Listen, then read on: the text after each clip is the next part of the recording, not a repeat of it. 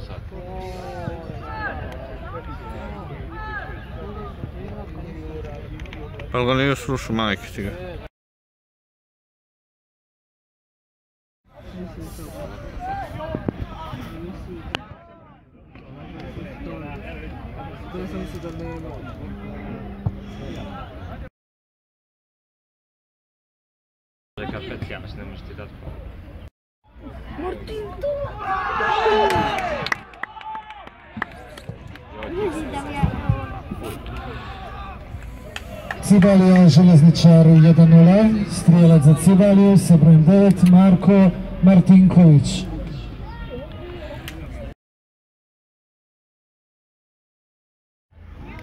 Nema niš drugo.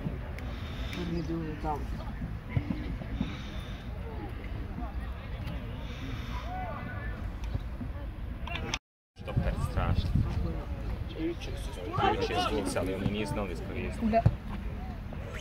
Когда пожал. Мама. Куда?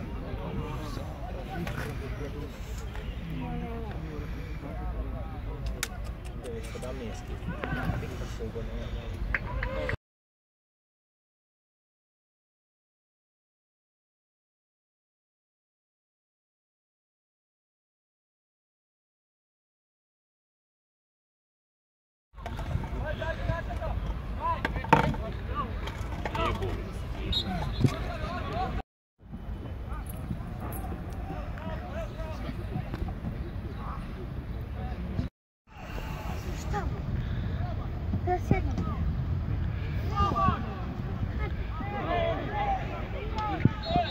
Пусть тяжелая ответственность тебе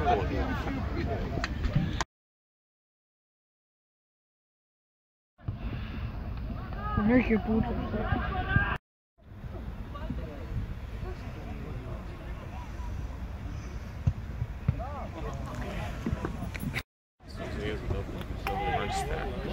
Ajde, daj loptu. Unutra, kako god. A loptu. Karton.